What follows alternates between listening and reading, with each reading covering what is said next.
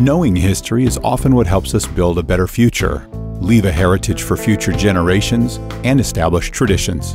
Quartzsite has a rich, unique, and colorful history that includes famous, as well as infamous, people and places. George Washington Conner, best known as Buck Connors, is one such famous person who positively influenced and affected the history of Quartzsite. He was a famous actor, showman, military man, lawman, chaplain, homesteader, pilot, family man, and a resident of Quartzsite. Born in Streator, Illinois in 1880, and he died in Yuma, Arizona in 1947. Buck was buried in a tiny gravesite plot in Quartzsite, behind what was the Best Mex Chinese restaurant on Main Street.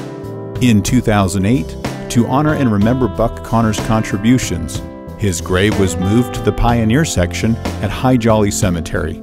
The town of Quartzsite continues to honor and remember Buck Connors, bringing to life his contributions to our town by hosting the first annual Buck Connors Western Days, coming this Veterans Day weekend, November 9th, 10th, and 11th. Plan now to attend and have fun learning about Quartzsite's history, help to build a better future, leave a heritage for future generations, and establish new traditions.